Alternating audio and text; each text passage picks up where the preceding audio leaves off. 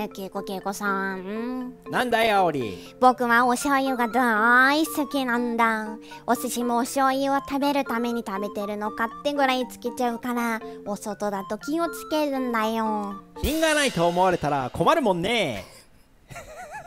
でねいつも僕がお家で使うお醤油なんだか不思議な形なんだ。見てよこれ。んどれどれ？ああほんほん。なるほど BB 弾を使えば100均の商品だけであおりにも作れるかもしれないよ。本当に。じゃあ早速僕ダイソーに行ってくるよ。ああ言っちゃった。やってみないとわかんないんだけどね。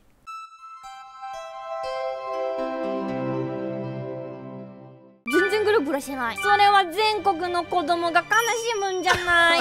あーすごいいい女子だねはい言われたもの。えっとボトルはい。伸縮性ストローを、は BB 弾。BB 弾。なんだろう。今回目玉ですね。ビニール袋、はい。かっこ抗菌のやつ。これはあの醤油を入れるから。そうだ大事大事。でグルーガン、んアイスピック。そうです。えー、BB 弾なんだろう本当は数年前までダイソーにね逆流防止弁っていうのが売ってたのよ。あーあーもうまさに。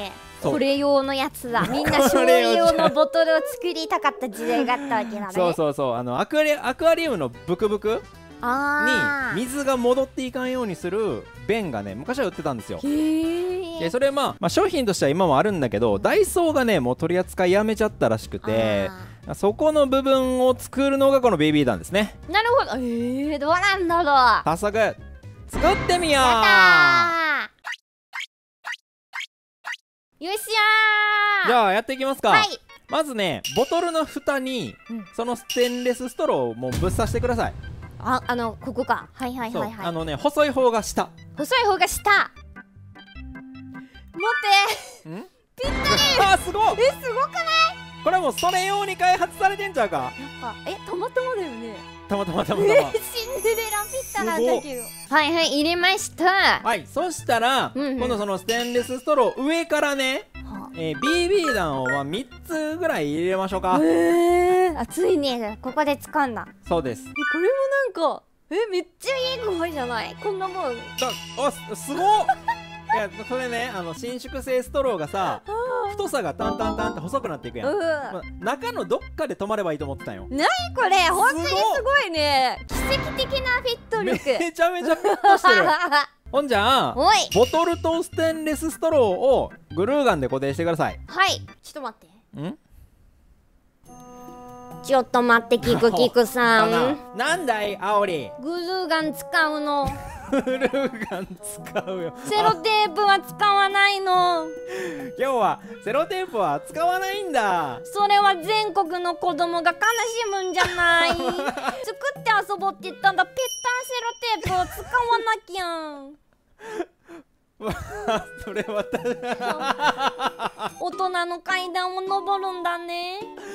今日はそうだね。大人の階段をそろそろ登らないとあれはもう何年前の番組だい？ごあおり。みんなはグルーガン使うときは大人と一緒にやってね。はいつけました。お全然グルーブラしてない。おいいじゃないですか。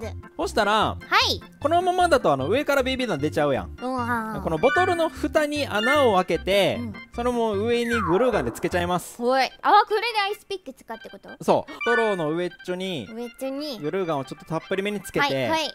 でその固まる前にその蓋をかぶせる。あーなるほどね。これね。ピヤッとそ白いキャップね。うそうそのキャップを上からかぶせる。とひっくり返してみて。ビビ弾出ないおー。そうそうそうそうそうそうそうそうそうそうですそうできたできたほんまはねその注ぎ口の形をこだわれば垂れないやつとかも作れると思うあ液だれねそうでも今日はちょっとねもうそれでいきましょうとりあえずねえこれそもそもさどういう仕組みになってんのストローの下に醤油が入ったビニール袋がつくねんなそこにな、でビニール袋から押し出された醤油がこう上から出るやんいチャーってやった時に出るやん出るでそれをこう戻した時にそのビニール袋が空気を吸い込んだらあかんのよ。あーまあそうするとまたふわってこう空気が中に入っちゃう。そう。外気が。今回酸化防止やからさ、はいはいはい外気に触れへんようにせなあかんわけやん、うんうんだからその上に BB 弾入れてんのがねうん。うん蓋になんねんすこてこうそうそうそう。入んないようになんだ。シューって出して戻したら BB 弾が下にスポッとはまる。はいはいはい。と空気が入らない。ないないだから酸化が防止できるっていうシステムやな。なるほどね。だから今からその下にビニール袋つけんねんけど先にボトルにビニール袋を入れてください。はい。でここは醤油が入るとこなんで手を使わないでください。あえ口を使う。で余計汚いわ。足。余計汚いねん。でそのボトルの中に入れたビニール袋にに。醤油を先入れます。はい。あとはビニール袋が今ボトルからファサって出てるやん。うんうん。そこと蓋のストローをうん。完全に密着させる。あーグルーガンだグルーガンです。でもグルーガンいきなりこれやるの難しいから一回輪ゴム巻いて。あはいあーなるほどね。そう輪ゴムをこう巻いて一旦ビニール袋とストローを一旦固定する。その輪ゴムごとグルーガンなんだけどあああ。ビニール袋にグルーガン直接つけると溶ける。のでちょっとグルーガン冷やしながらこうつけてください。あーすごいいい女子だね今日はよく分かっているじゃないか 工青り作好きだからね。そっから醤油がねブジュブジュブジュブジュ漏れるのでなるほどね。一番大事なとこだ。そうです。そこです今日は。肝。ああ。肝って言わそんな急にそんな毒舌じゃないよあじゃあこれ蓋をして。はいそのまま閉めて。できたお。えすごい。見た目もまあまあまあボトルのこのなんか袋の中に入ってる感じもほぼ一緒だね。実はねもう一つだけポイントがあるんだ。あ今日の肝二つ目。最後に、うん。そのボトルにさっきのアイスピックでちょっとだけ穴開けます。おボトルにあのボトルだけ。人が乗れそうなとあころはいはいはい。稲葉の職員が乗ってるところ、ちょっとだけね穴開けてください。ちょっとね。あそれぐらいでいいと思う、はい。はいはいはい。これで完成です。えー、何の？穴これ。ボトルを押す醤油がビヤッと出る。出る。そのまま離すと BB 弾のせいでうんうん。醤油ビニールには空気が入らんようになってるやん。っうんさっきの。てことは空気穴がないとボトルが膨らまられへんねん。あのムンクみたいになってんだずっと。あそうそうそうそう。そう、はいはい。ムンクになっちゃうからってなってるから穴を開けるとボトルだけがはヒコッと戻ると。なるほど。中は密封のまんまで外だけ戻るんだ。そう。だからささっきのさあのー、あおりくんが見せてくれた醤油のボトルあるやんか、うんうんうん。あれもねちょっと上の蓋開けてみて。醤油穴の横に穴開いてない。これか、うんそれがねボトル空気吸い込み穴なんよ。なんだ。そうなのでその穴がないとボトルが膨らまないということですね。なるほど。ということで完成！やった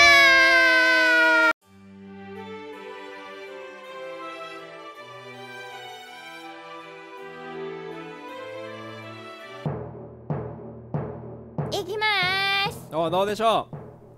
おおおおお出てる出てる。できてるまず第一段階醤油が出るね。あちょっと待ってこのさ今日一番大事なところはこのまま密封になるからからはい。ちょカメラの前にこの手のまま持ってくね。はいはいはいはいはい、はい。中に空気が入らずボトルだけが膨らめば成功はいはいはいはい。おおおおいけてますね。おいいんじゃない？中密封じゃない？これちゃんと。もうちょっと醤油ギュッと出してさうん。中減らしてもいけるかまで見てみようよ。あオッケーオッケーはいじゃあ持ってきます。ボトルが膨らんで醤油が膨らまない。ボトルが膨らんで醤油がおー！できた！すごい！どうですか？完璧じゃない？ワクワクさん史上一番難しい作品を作ったんじゃない？BB 弾ですごい。お家でこうやって作れたらあのオリーブオイルとかさ、うん。他のも代用できるね。全部酸化せんようにできるよ。お母さんに作ってあげよう。であの液だれが気になる液場合。だれね。場合はあれだよね。だから今回上から穴開けたじゃん、うん。それこう下からこうプラスチックをこう盛り盛りってさせるように穴開けるとか。ああなるほど。ああいけるいけそうな気がするそれ。上の材料を変えるとかで工夫する感じだね。液だれ防止でもう一本取れそうなということで動画見てくださってありがとうございました。ありがとうございました。ちょっと葵の気になるシリーズすっきりしたわ。なんか僕らにしては短時間でできたしね。確うん、うん、今回ね。せーの。バイバイ。バイバーイお誕生日ライブフォルティッシモ皆さんね、お忙しいところ見に来てくださって本当にありがとうございました。ありがとうございました。ちょっとねアーカイブがちょっと謎の今非公開でちょっといろいろ調査中なのでもう少々お待ちください。はい。みんな。何らかの形で公開します。します。みんな本当にありがとうね。お祝いしてくれて